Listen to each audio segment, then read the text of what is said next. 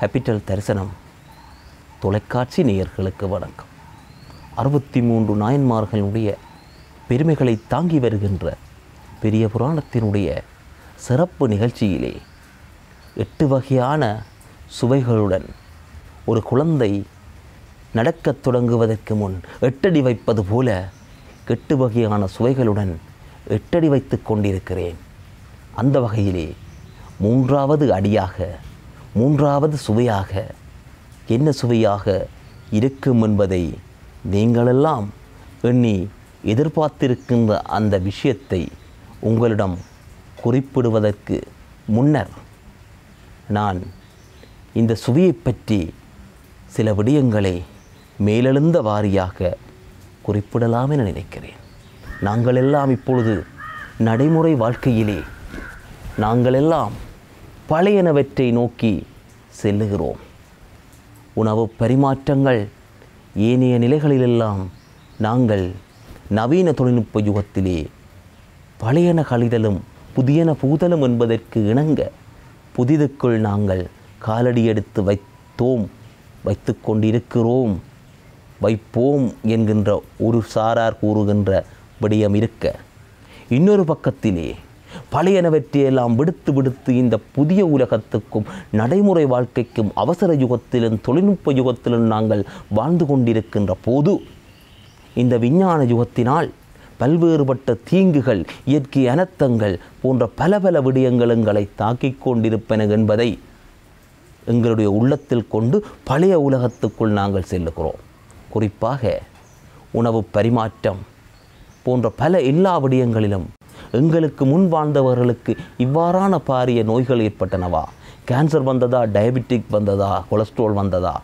ஆகவே நாங்கள் எல்லாம் புதியனவற்றுக்குள் புகுந்ததால் தான் இவற்றை பெற்றிருக்கிறோம் என்று பழைய நிலைக்கு சென்று கொண்டிருக்கிறோர் ஒரு சாரார். இந்த இரண்டுக்கு நடுவிலே சேக்கிலார் என்ன சொல்லுகிறார் என்றால் குறிப்பாக சுவையாகச் சொல்லுகிறார் இதை சுவைபட. தன்னுடைய பெரிய புராணத்தில் இருக்கின்ற சுவைகளிலே பெரிய புராணமே ஒரு சுவை. அதிலும் மேலும் ஒரு சுவையாக சுவைக்கு என்று எட்டு வகையான சுவைகளை கூறிய சேர்க்கிறார். மூன்றாவது அடியிலே இலி வரல் சுவை. அருமையான தமிழ் இலி வரல் சுவை என்று மூன்றாவது சுவையை சொல்லுகிறார். குறிப்பாக முதலாவது சுவை நகைச்சுவை இரண்டாவது சுவை அழுகைச்சுவை. அழுகை இல்லை. அழுத்து அழு அழுகிறது அல்ல. அழுகின்ற சுவை. மூன்றாவது சுவை இழிவரல் சுவை என்று ஒரு சுவையினை அழகாக எடுத்து காட்டுகின்றார். அந்த வகையிலே இழிவரல் சுவை என்றால் என்ன என்று நாங்கள் பார்க்கின்ற போது பழைய நிலை தொட்டு புதிய தாழ்நிலை அடைதல் பழைய நிலையில் இருந்து புதியதுக்குள் தாழ்நிலையை அடைதல். இன்னும் கூறப்போனால் மூப்பு பிணி வருத்தம் மென்மை என்பனவற்றில் இருந்து இழந்து சுவை தோன்றுதல் என்று சொல்லப்படுகின்றது. நான் சில உதாரணங்களுடன் சொன்னால் இன்னும் அழகாக உங்களுக்கு விளங்கும் என நினைக்கிறேன். சுந்தரர் மாப்பிள்ளை கோலம் பூண்டு இறைவனுடன் தோழமை கொண்டு தான் எப்படி வாழ்ந்தார் என்பதை பிற்பட்ட காலத்தில் அவர் கூறுகின்ற போது அழகாகச் சொல்லுகிறார். தூதனை தன்னை தோழமை அருளி தூதனை தன்னை தோழமை அருளி கொண்டனேன் செய்து துரிசுகள் பொறுக்கும் கொண்டனேன் செய்து துரிசுகள் பொறுக்கும் என்று சொல்லுகிறார்.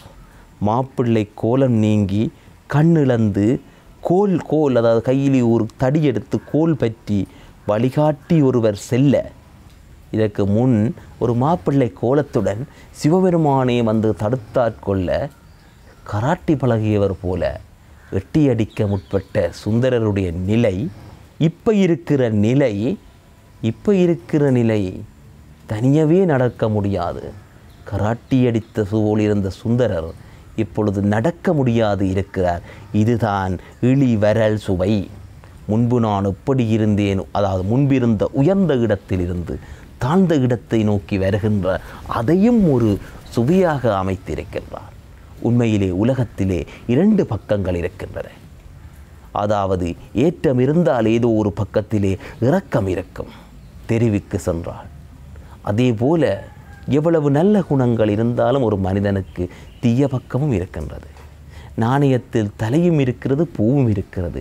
அதே போல பெரிய புராணம் சொல்லுகின்ற செய்தி குறிப்பாக நாங்கள் எல்லாம் நல்லவனாக நல்ல விடயங்களை எல்லாம் தொட்டுச் சென்ன சேக்கிலார். தீயதென்று நாங்கள் எங்களுடைய மனதில் நினைத்திருக்கிறோம். அழுகிறதென்றால் கவலை. அதாவது கீழ்நிலை முந்தி நல்லா இருந்தவர் இப்போ கெட்டு நொந்து போட்டார் என்றால் அதுக்கு அவர் நல்லா குட்டிச்சுவராக போனார். இது எல்லாம் ஒரு சுவையாக அமைத்திருக்கிறார் என்றால் உண்மையிலே சு எங்களுடைய சேக்கிலாரனுடைய சிறப்பினை நாங்கள் இந்த இடத்தில் குறிப்பிட முடியாமல் இருக்க முடியாது. ஆகவே இதற்கு எங்களுடைய சமய தத்துவத்திலே இருக்கின்ற ஒரு விடயத்தை உங்களிடம் பகிரலாம் என நினைக்கிறேன். வெறுங்காலால் நடப்பது நல்லதா என பலர் சிந்திக்கிறார்கள் கேட்கிறார்கள். இப்பொழுது குளிப்பதற்கு குளியலறைக்கு செல்வது தொடக்கம் மலசலகூடம் செல்லும் வரைக்கும் என்ன என்று சொன்னால் கால் செருப்புடனே தான் செல்லுகிறார்கள். உணவருந்து போதும் கூட காலில் செருப்பணிந்து இருப்பதை அந்த அந்தஸ்தாக கருதுகின்றது எங்களுடைய தலைமுறை.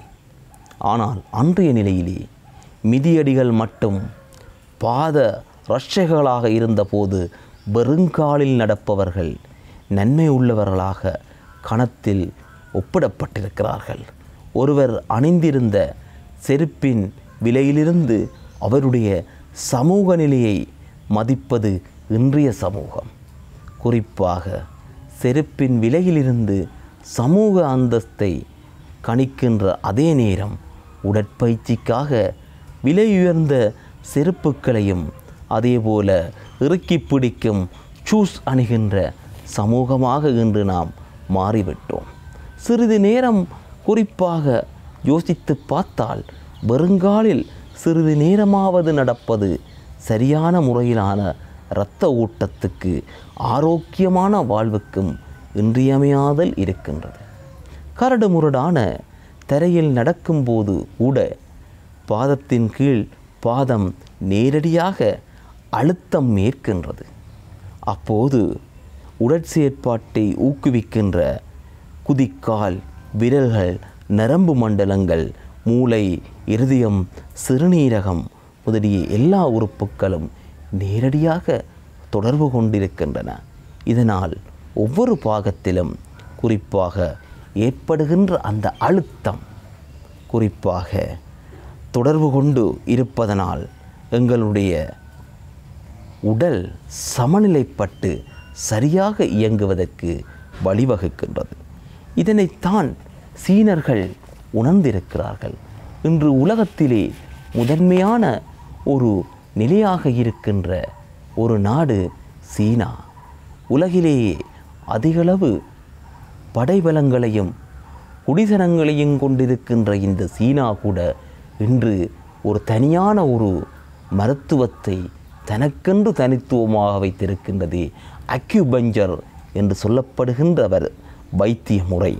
இதிலே இதன் மறு உருவமே அக்யூபஞ்சரினுடைய மறு உருவமே செருப்பில்லாமல் வெறுங்காலில் நடப்பதில் இயற்கை நமக்களித்திருக்கின்றது.